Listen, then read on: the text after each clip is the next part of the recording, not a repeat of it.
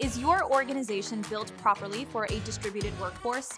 Before the coronavirus was even a blip on our radar, employees preached the benefits of working from home. Some workplaces started implementing remote work as an option, working with employees in neighboring cities, different time zones, and even across oceans. Since the pandemic began, however, many workplaces that were holding out on remote work have had to give in in order for their business to stay afloat. While some employees love working remotely, others place a high value on face to face interaction with their coworkers and clients. With some people heading back to the office, we can now enter into the distributed workforce movement. I'm Alex with Jotform, and in today's video, we'll discuss how your organization can effectively build a distributed workforce. Let's go.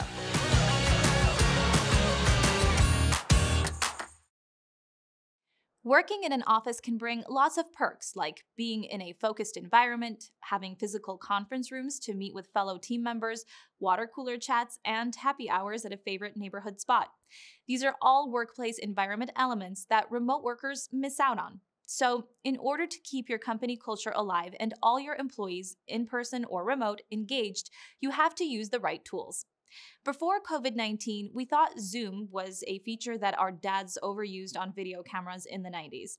But now we know it can be a video conferencing tool to millions, not only for important work meetings, but also 30th birthday celebrations, Passover, and baby showers.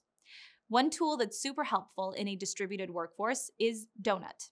This tool solves two problems how to have lunch with your coworkers and how to meet new people when employees aren't all in the same physical space. This is how Donut works. It pairs different employees together with a roulette style randomization algorithm. Then the paired up employees have a lunch or a coffee break together. Think of Donut as the virtual way to bump into employees in the workplace and strike up a conversation around the coffee machine. Another helpful tool is Slack. While this tool has been used by companies, organizations, and classrooms for a while now, it's never too late to join in on a good thing. This chat client facilitates knowledge sharing through its unique design and usability.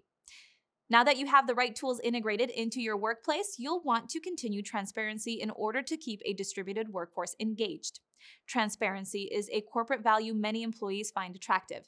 They want to know about onboarding, promotions, work policies, and what's to come in the sales pipeline. Keeping your employees in the loop is so important. One simple way to do this is to hold all hands on deck meetings with a virtual component so both in office employees and remote workers can join. Video conferences will beat audio calls any day of the week. Being able to see and hear managers and employees is a big proponent of feeling in the loop. You can also boost inclusivity with Slack and Microsoft Teams as these programs keep all employees equally informed regardless of location. Transparency in the workplace becomes crucial if you're pivoting your company workflow in any major way. Keeping your employees in the loop throughout the process gives them the trust they need to keep doing a great job. The next step in creating a well functioning distributed workforce is to take a personal approach with your remote workers. Try implementing consistent virtual check ins, not just on work performance, but on your employees' individual lives. Lean on tools like Slack, Teams, and Donut to boost your remote employees' morale and let them know they're not lost in a void separate from the office.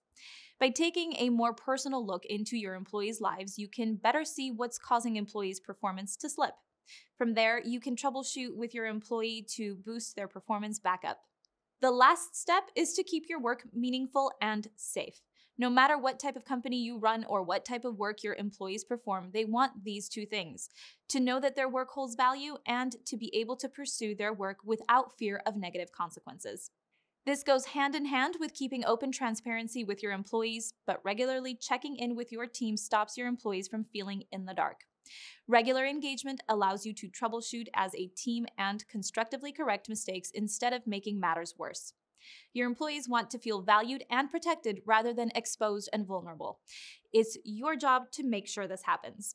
Keep a positive, engaging, and transparent attitude, and your distributed workforce will continue to thrive. Remember, you want to engage with your employees regularly, but don't turn into a 24 7 surveillance state. Combine these technology driven and empathetic strategies so you can successfully navigate your new distributed workforce. Let's review. To effectively create a distributed workforce, just follow these steps. First, get your hands on the right tools. Then continue transparency as you navigate your new workforce dynamic. Next, implement a personal touch with all of your employees. And last, keep your work meaningful and safe for all. Thanks for watching Jotform. I'm Alex, and I'll see you next time.